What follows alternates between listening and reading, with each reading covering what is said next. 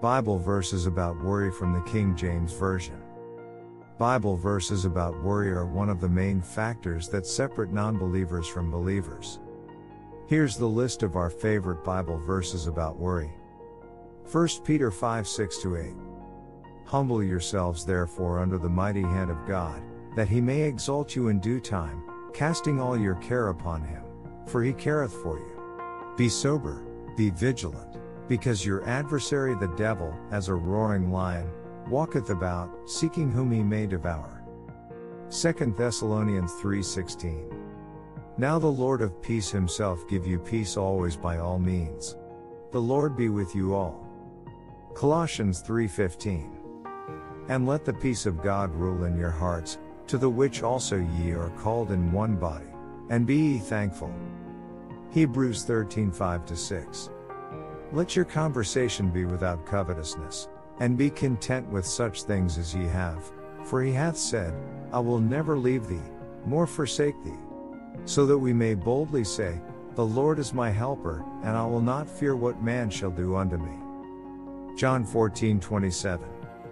Peace I leave with you, my peace I give unto you, not as the world giveth, give I unto you. Let not your heart be troubled, neither let it be afraid.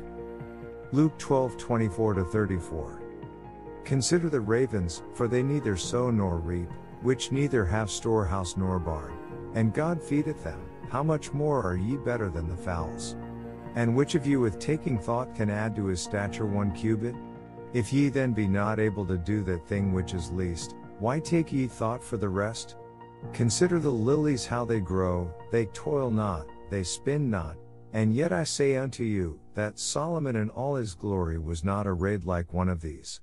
If then God so clothe the grass, which is today in the field, and tomorrow is cast into the oven, how much more will he clothe you, O ye of little faith? And seek not ye what ye shall eat, or what ye shall drink, neither be ye of doubtful mind. For all these things do the nations of the world seek after, and your Father knoweth that ye have need of these things. But wraith. Matthew 11 28 30. Come unto me, all ye that labor and are heavy laden, and I will give you rest. Take my yoke upon you, and learn of me, for I am meek and lowly in heart, and ye shall find rest unto your souls. For my yoke is easy, and my burden is light. Matthew 6 25 34. Therefore I say unto you, Take no thought for your life, what ye shall eat, or what ye shall drink, more yet for your body, what ye shall put on. Is not the life more than meat, and the body than raiment? Behold the fowls of the air, for they sow not, neither do they reap, nor gather into barns, yet your heavenly Father feedeth them. Are ye not much better than they? Which of you by taking thought can add one cubit unto his stature? And why take ye thought for raiment? Consider the lilies of the field, how they grow.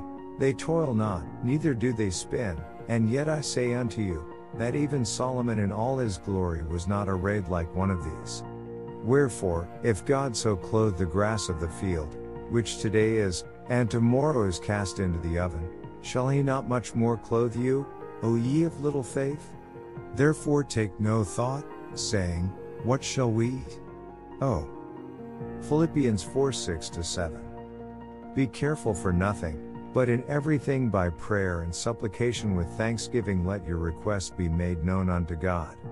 And the peace of God, which passeth all understanding, shall keep your hearts and minds through Christ Jesus.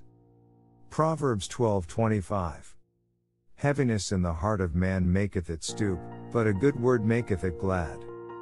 Proverbs 3 5 6. Trust in the Lord with all thine heart, and lean not unto thine own understanding. In all thy ways acknowledge him, and he shall direct thy paths. Psalm 23 4.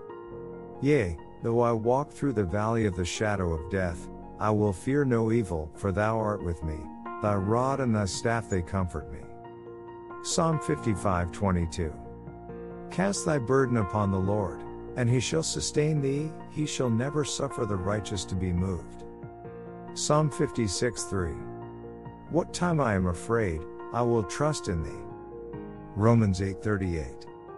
For I am persuaded that neither death, nor life, nor angels, nor principalities, nor powers, nor things present, nor things to come.